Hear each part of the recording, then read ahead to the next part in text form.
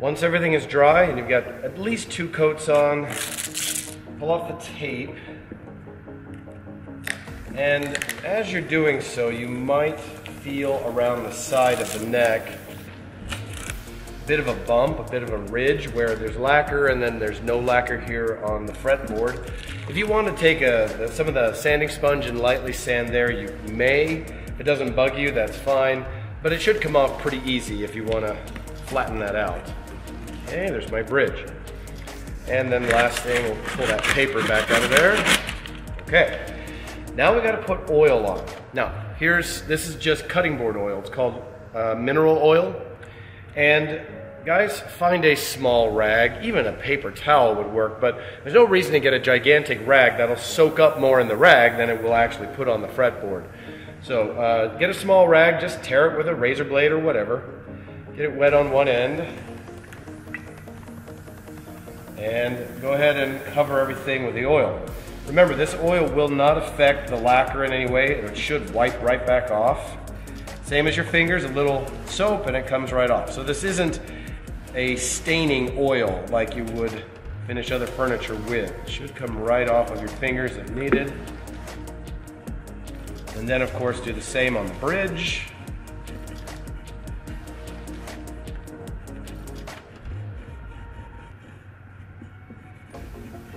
And if you notice that this ever dries out, you can always put more on later on. It, this stuff goes into the pores and you can continue putting it on.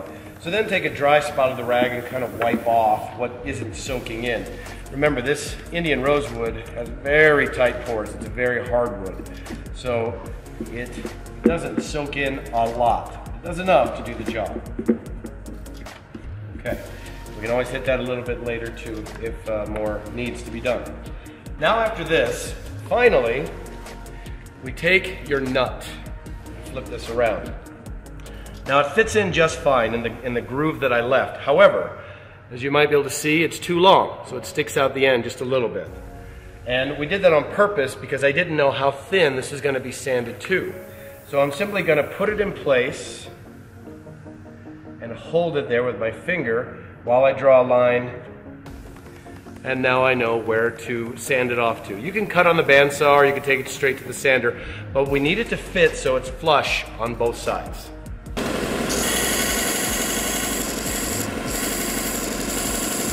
Here's your nut. I set it down to a steel ruler so that we could kind of mark where each of the strings go.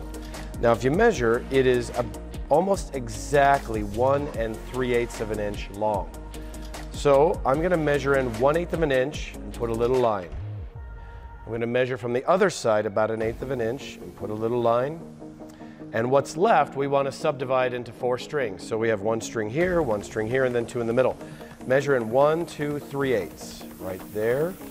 And then from the other side, one, two, three eighths, right there. And in between them is three eighths. So they're evenly spaced, three eighths apart so that it gives your fingers as much space as possible to use the strings without going over to another one. Now we need to figure out how deep to cut the little notches for the strings to fit into.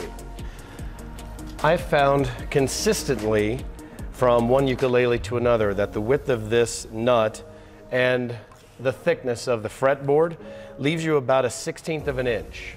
So how do we measure down a 16th? This is where a little bit of guessing comes in handy. Use the edge of your finger along the edge here and hold your pencil. And a 16th of an inch is about that much. It's hard to explain. By all means, use a ruler, of course, but use the edge of your finger and draw a straight line across so you know not to cut any deeper than that on the bandsaw.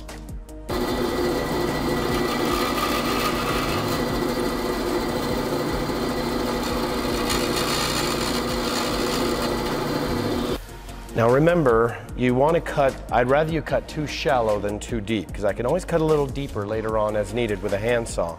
So just take a eraser and take off all those pencil lines. You could even lightly sand them off if you want. And then it doesn't matter if it goes in this way or that way as long as the notches are up. So at this point, we're gonna super glue that nut into place. So pop it off, this super glue is a little on the thicker side so it doesn't run quite as much. This is a catalyst, helps it dry faster. I'll show you that in a second.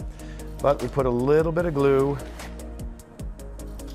on the end and a little bit at the base. And you try not to put so much that it squeezes out and runs on the side. Now, with the catalyst, first, which way do you want it to go? I'm gonna have it go that way. So I'm gonna spray on this face and this bottom a little bit of this clear liquid. Smells a little bit funny, but it doesn't hurt. It washes off with water. It evaporates like water.